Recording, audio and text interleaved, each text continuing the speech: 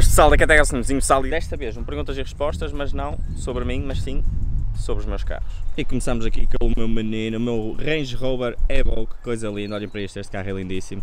Está um bocado cagado, mas é lindo na mesma. Assim já está, isto é um Range Rover Evoque dia 240 HSE, exatamente. E o que é que isso significa? Significa que ele tem 200 não vou dizer os cavalos, só depois. Mas é uma edição um bocado especial. Ele foi importado, cá em Portugal existem poucos com a cavalagem que este tem.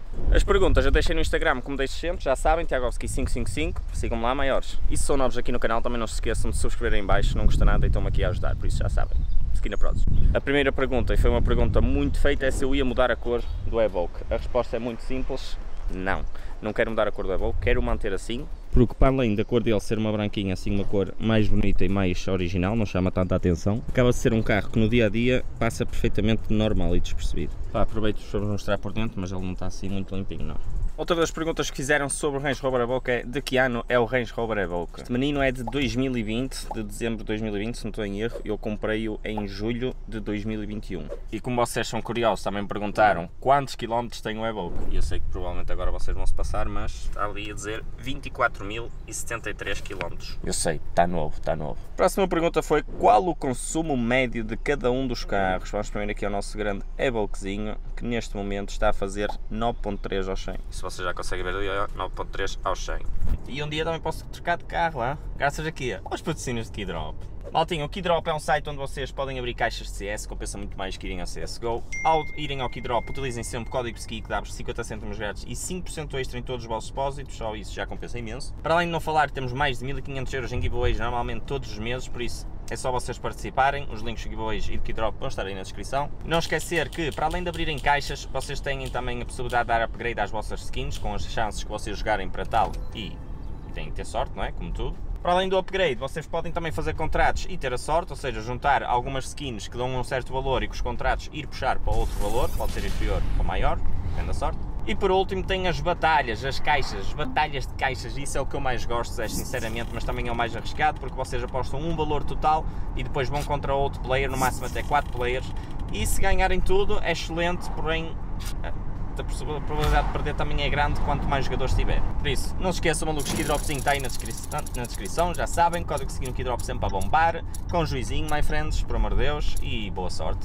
Se sacarem boas skins, avisem. Ai, não se esqueçam, participem nos giveaways, por amor de Deus. Amigos, boas, estamos aqui agora. Vamos fazer aqui um bocado de pop aqui do, do Evoque. Como vocês podem ver, isto é uma loucura, este carro é enorme, espaço, olhem para isto. Eu vou aqui sentado, Deus me livre, mais cá à vontade. Não vou à vontade, vou à vontadinho. Mas vamos às perguntas. A próxima era o que é que eu mais gosto em cada carro. Começando aqui pelo nosso menino Evoque. O que eu mais gosto e aprecio neste carro é sem dúvida alguma o conforto, malta. O conforto dele, a tecnologia que ele tem, tudo ser digital, etc. é altamente, tipo, condução dele também é fixe, tranquila, mas generalizando tudo é o conforto, sem dúvida alguma. Pretendo-nos vender algum deles. Aqui o nosso menino é bom, que para já não está nos meus planos vendê-lo, sem dúvida alguma que é um carro que ainda quero para muitos aninhos. Felizmente está 5 estrelas. Quanto custou o Evoque? Alta, aqui o nosso menino Evoque custou 80 mil euros em 2020. Neste momento não sei para que é que iria este carro, mas também não me interessa, sendo sincero. Agora aqui uma pergunta um bocado off-topic, que é carros elétricos, opinião. Ah, isto pode afetar muito pessoal, mas eu não sou muito de carros elétricos, não é a minha cena, meu Deus. Não é a minha cena, sem dúvida alguma, pá. Ainda ter de pensar que tenho que chegar a casa e ligar o carro a uma ficha é um bocado estranho para mim e eu gosto de ouvir o barulhinho do carro, nem que seja só este, que a boca até é silencioso, mas gosto de sentir o carro, estão a ver? Num elétrico é um feeling um bocado estranho. Não quer dizer que daqui a uns anos não vá mudar de opinião, mas neste momento não é algo que me atraia. Quantos cavalos tem o Evoque? Este menino tem 240 cavalos, malta, e isto é um carro que é muito raro encontrarem com esta cavalagem. A tração às quatro. Este é uma besta, é importado, existem muitos, mas muitos poucos Range Rover Evoques em Portugal, em Portugal, em Portugal, HSE com 240 cavalos. Uma pergunta também que várias gente fez foi: dizem que Range Rover dá problemas, confirmas? É negativo. A minha resposta é: não confirmo. Eu, para quem não me conhece, já estive outra Evoque antes deste, mas eu decidi dar upgrade por causa aqui dos painéis e etc. E sinceramente nunca tive problemas com o Evoque, correu sempre tudo 5 estrelas, nunca me deram stress, por isso a minha resposta é não. E por último, outra pergunta foi: pretendes alterar alguma estética do Evoque? E a resposta é tão simples quanto não. Ele está lindíssimo como está, não vou alterar nada, gosto das jantes, gosto da cor, gosto de toda a dinâmica que o carro tem, estética, para mim está 5 estrelas. E agora vamos fazer aqui um, um 0 ao 100 aqui no e-boxinho, que eu acho que vocês conseguem ver o bolsímetro. Vamos lá, 0 ao 100 aqui no nosso menino e-box.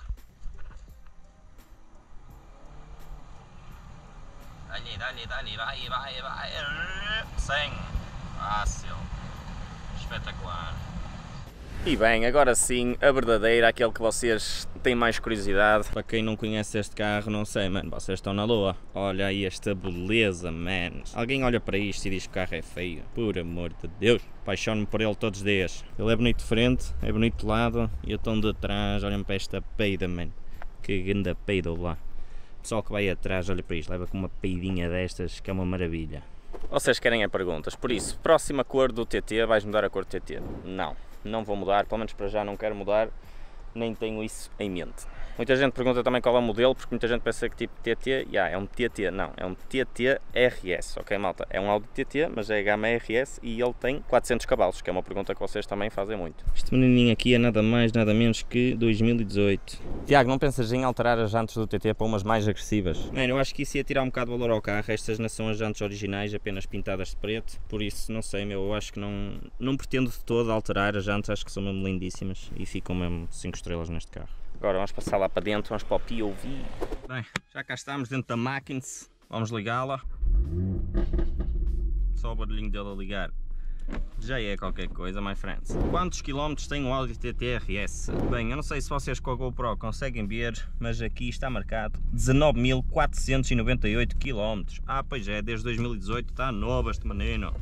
E logo de seguida temos uma pergunta também muito interessante que é qual o consumo médio? E eu espero que vocês consigam ver ali, memória de longo prazo no 17. Há bocado estive a puxar um bocadinho, fez 20,5, mas a longo prazo ele está com média de 17.3 ao 100. É complicado, não é fácil. Agora sim, vamos à nossa vida. Bota calor, vamos dar uma puxadela ou outra, nada de mais, é, já sabem, segurança sempre em primeiro lugar. O que mais gostas no Audi TT RS? Mano, essa pergunta é fácil, meu. O que eu mais gosto neste carro é a adrenalina que ele transmite, é a velocidade dele, é a emoção que o carro traz, que é uma coisa, para mim é, é surreal, meu. Isto é incrível, eu adoro, adoro, adoro. A pergunta mais feita era se eu queria trocar ou vender o TTRS. Malta, neste momento não estou com cabeça para tal, não tenho sequer dinheiro para tal. Depois vocês também vão vendo aí pelos vídeos o que é que se passa, o que é que eu tive que fazer recentemente, etc. Acompanham o canal, mas nem monetariamente consigo neste momento estar a trocar de carros, até porque isto são carros os dois de, de grande valor. Quanto é que custou o TTRS? Este menino na altura custou-me 113 mil euros com extras em 2018. Ele é original, veio para mim com 0 km aqui de Portugal mesmo, ok? Não é importado, veio de 0 km, veio mesmo novinho em folha para as minhas mãos. Vamos meter aí o modo Sport, podemos já dar aqui uma puxadela.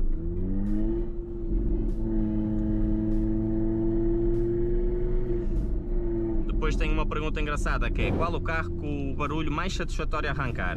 Vocês ouviram o Evoque, agora eu quero que também vocês é que respondem a esta resposta, a esta pergunta, não é? Por isso, olha, vejam se este é melhor. Jesus, eu acho que é uma resposta bem fácil. Depois, muitos curiosos perguntaram-me do 0 aos 100, Tiago, quanto é que essa besta faz? Assim, estipulado, estipulado, está estipulado que ele faça do 0 aos 100 em 3.5 segundos com launch control, ok? Agora é assim, se calhar eu a fazer não vai ser exatamente esse mesmo tempo, ok? Digo eu. Mas bem, eu já faço o launch control, vamos só primeiro ver aqui se temos uma estrada segura, etc. Mas olha, só a arrancada dele, olhem para isto, espera aí. O barulhinho deles, é, curtam. Até pode ser.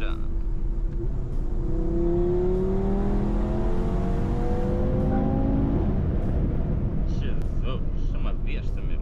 Olha para isto. Esquece, que lindo este som, meu. A gente perguntou os popzinhos.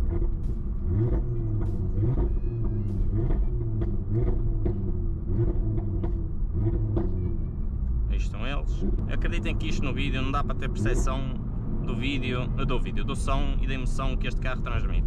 Isto arranca.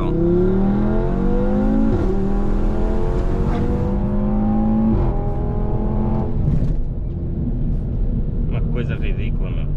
Agora, estou para ver onde é que a gente vai fazer um launch control. Esta reta é mais que suficiente para este menino. Vai brincar com a reta. Bem, my friends, launch control, olhem lá como é que isto se faz upski mesmo.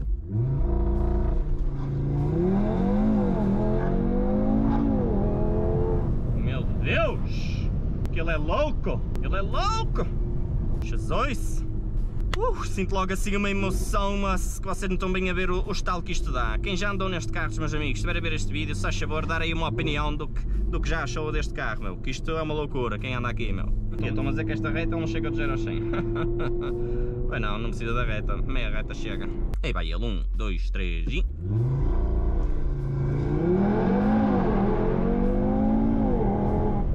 Meu Mano, isto... Esquece, segura-te. Pois é isto, é esta concessão. Olha para isto. Que é isto? Que é isto? Isto é um carro ou é um avião? Hã? Hã? Jesus! Meu Deus, coisa linda!